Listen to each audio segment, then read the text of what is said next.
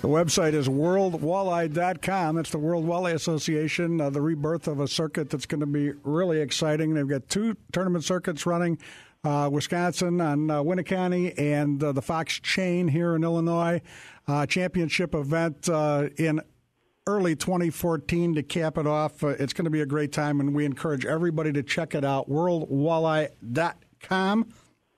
Uh, Theresa Mead, you're known for your fishing skills. You've been fishing professionally for a long time. Are you going to be fishing this or running this?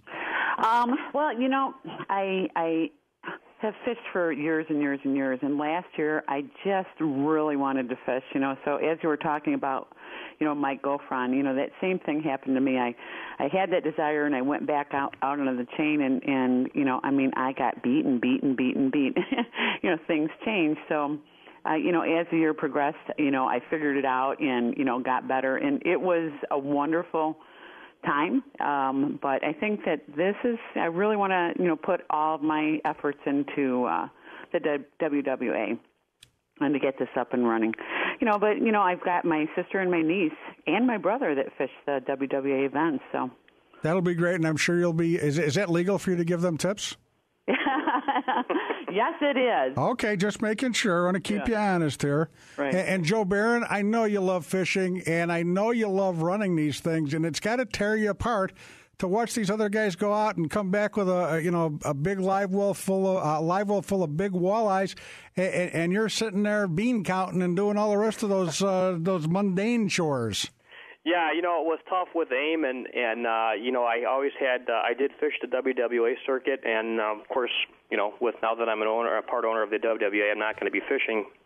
Um, so I'm just going to have to try to find something else to fish. So you know maybe the MWC or you know I'll do something. I'm just not sure what it'll be, and it's not going to be the WWA because I'll be bean counting there and uh, trying to put on a good event. Excellent. Yeah, we'll get that put on your business card. Joe Baron, Bean Counter, WWA. Yeah, there you go. Yeah. They, uh, you know what? My my only hope is that there's a lot of beans for you guys to count. Right.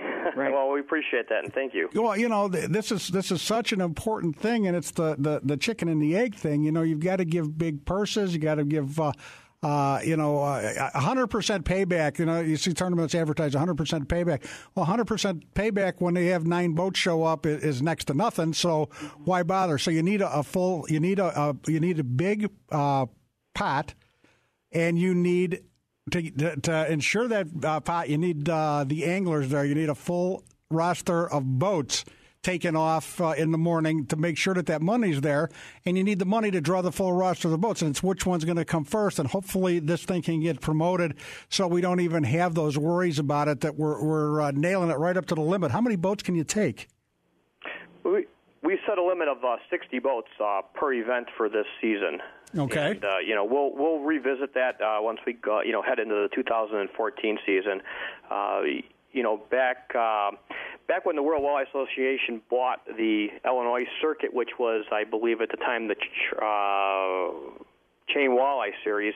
You know, there were 60 boats out here, 60, 65 boats that competed out here and and uh, of course that that kind of dwindled down. And and uh, Theresa and I are, you know, again we're working hard to bring it back up to that point, and then we'll revisit it. And you know, it's all about it's all about providing the prize money and and uh, the promotion of the anglers that fish it. And uh, again, Theresa and I are working hard on on making that happen.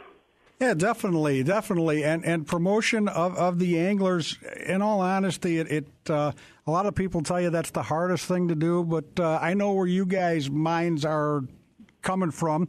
And and I don't think it's going to be all that difficult because you're going to have good fishermen cashing the big checks, and people always want to hear about how they did it, what they can do to be better fishermen. And I know that you know shows like mine are always interested in talking to these people that do real well because not everybody's fishing a tournament, but when somebody goes out and wins a WWA on the chain, that's water that anybody can go fish on a Saturday uh, or, you know, bring your boat, rent a boat, do whatever, and hear how these guys caught these walleyes is, is what people are interested in doing. So I think that that's going to be uh, an easy step for you is promoting that. And once this thing gets off and going, you'll you'll be doing just fine. Uh, as far as far as that goes, you know, it, if if you guys do it right, you put the energy in, you think it through, uh, and you don't do any, you know, you don't do anything that's going to make you take a step backwards uh, you'll be fine. Baby steps. I love the 60 boats. You know, uh, I don't know what the, the limit is on the chain for what they would let you have. I'm sure they would let you have a tournament with 100 boats. But uh, why would you say that? I'd rather go with the 60, stick with it. And if you've got, uh, uh, if you're turning people down, so be it. You turn them down and say, come back next year. Don't go back on your word. Uh, set goals that you can attain, and uh, let's let's say let's reach those goals, have successes, and move forward from that. That's the way I'd be looking at this. Mm-hmm. Absolutely, and that's you know through along the conversations that Theresa and I have, I have had, uh, you know, regarding this. And baby steps is correct, and uh, you know, uh, what's really encouraging is that is that we, as Theresa mentioned earlier, is that we're getting people reach out from us from other states that that want us to come back, that that fish the WWA as well. So, um, again, you know, we just are biting off uh, the addition of Wisconsin and, and an improvement on our Illinois circuit this year. Those are those are our baby steps for 2013, and and uh, you know, again, we're going to grow into uh, into you know some other areas and a couple other circuits uh, in 2014. You guys are young. You've got time to make it happen. You know. Wait a minute. young.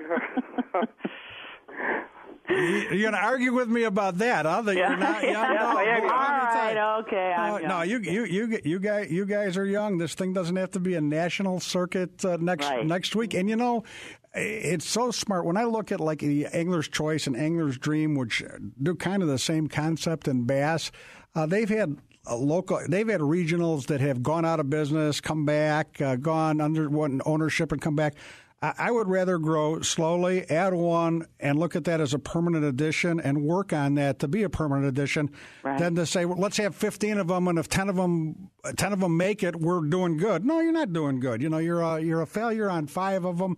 Let's be a, let's be a, a, a winner on all that we try. And I'm so excited about this WWA and moving forward. And I really mean it about anybody joining. Uh, you know, I've, I've co-angled my share of uh, professional tournaments, and you go there, and it's a. Uh, uh, it's a little intimidating when you when you go to the meeting and you see the uh, the Keith Caviases and Doc Sampsons, you know, and my girlfriend sitting there and oh my gosh, what am I, you know, what am I doing here? Or, or, or getting in the boat with those guys. Now you're in your own boat and you're moving and you're fishing against those guys. Don't be intimidated.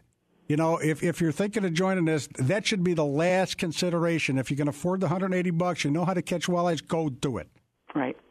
Absolutely. You know, I can speak from my experience. It's a, it's a big learning experience. You'll become a better fisherman just from fishing the tournament, no doubt about it. From being on the water with all these all these guys and and uh, keeping your eyes open and seeing what they're doing and, and where they're and where they're at, and you know, it's it's it's a huge learning experience.